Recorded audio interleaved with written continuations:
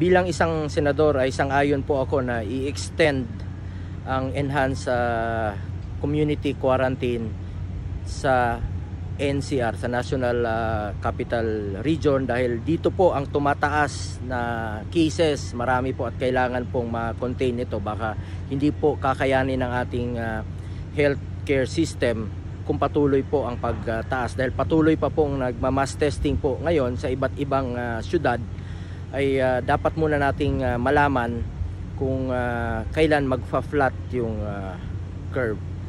So sa mga ibang ah, probinsya naman po ah, kung sakali mang ah, bubuksan dahan-dahan ay maging modified ah, quarantine po ito para po tingnan natin kung sino yung pwedeng lumabas at ano lang po yung importante importante rito yung may pagkain po ang ah, tiyan ng bawat ah, Pilipino dahil yun po ang dahilan kaya po sila lumalabas. Salamat po at kailangan lang natin ng kooperasyon at disiplina po ng ah, bawat ah, Pilipino. Maraming salamat po.